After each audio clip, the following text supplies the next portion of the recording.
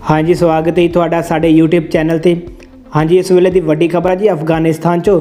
ਤਾਲਿਬਾਨ ਦੇ ਡਰੋਂ ਭੱਜਿਆ ਕੇਂਦਰੀ ਮੰਤਰੀ ਹੁਣ ਇਸ ਦੇਸ਼ 'ਚੋਂ ਪੀਜ਼ਾ ਡਿਲੀਵਰ ਕਰ ਰਿਹਾ ਹੈ। ਹਾਂ ਸਰੋਤੇ ਵੀਰੋ ਖਬਰ ਨੂੰ ਸ਼ੁਰੂ ਤੋਂ ਲੈ ਕੇ ਆਖਿਰ ਤੱਕ ਜਰੂਰ ਦੇਖ ਲੈਣਾ। ਤੁਹਾਨੂੰ ਪੂਰੀ ਖਬਰ ਬਾਰੇ ਪਤਾ ਚੱਲ ਜਾਵੇਗਾ ਅਤੇ ਨਾਲ ਦੀ ਨਾਲ ਸਾਡੀ ਵੀਡੀਓ ਨੂੰ ਲਾਈਕ, ਸ਼ੇਅਰ ਅਤੇ ਚੈਨਲ ਨੂੰ ਸਬਸਕ੍ਰਾਈਬ ਕਰਨਾ ਵੀ ਨਾ ਭੁੱਲਣਾ। ਦਰਅਸਲ, ਅਫਗਾਨਿਸਤਾਨ ਦੇ ਸਾਬਕਾ ਸੰਚਾਰ ਮੰਤਰੀ ਦੇ ਵੱਲੋਂ ਹੁਣ ਪੀਜ਼ਾ ਡਿਲੀਵਰ ਕੀਤਾ ਜਾ ਰਿਹਾ ਹੈ।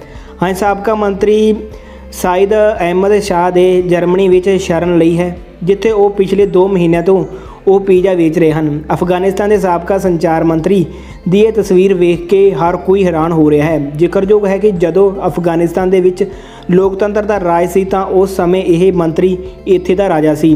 ਤਾਲਿਬਾਨ ਆਇਆ ਤੇ ਇਹ ਰਾਜਾ ਇੱਥੋਂ ਭੱਜ ਕੇ ਜਰਮਨੀ ਚਲਾ ਗਿਆ, ਜਿੱਥੇ ਜਾ ਕੇ ਇਸ ਦੇ ਵੱਲੋਂ ਪੀਜ਼ਾ ਡਿਲੀਵਰ ਦਾ ਕੰਮ ਸ਼ੁਰੂ ਕਰ ਦਿੱਤਾ ਗਿਆ।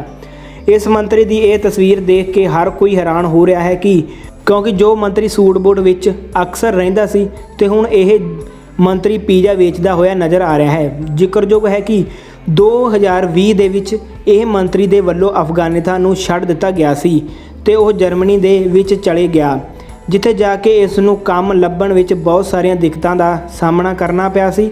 ਇਸ ਦੇ ਚੱਲਦੇ ਹੁਣ ਪਿਛਲੇ 2 ਮਹੀਨਿਆਂ ਤੋਂ ਇਹ ਮੰਤਰੀ ਜਰਮਨੀ ਦੇ ਵਿੱਚ ਪੀਜ਼ਾ ਡਿਲੀਵਰੀ ਦਾ ਕੰਮ ਕਰ ਰਿਹਾ ਹੈ। ਤੇ ਹਾਂ, ਇਸ ਸਰੋਤੇ ਵੀਰੋ ਇਸ ਦੇ ਨਾਲ ਹੀ। ਸਾਡੀ ਖਬਰ ਇੱਥੇ ਸਮਾਪਤ ਹੁੰਦੀ ਹੈ। ਮੈਨੂੰ ਦਿਓ ਇਜਾਜ਼ਤ। ਧੰਨਵਾਦ।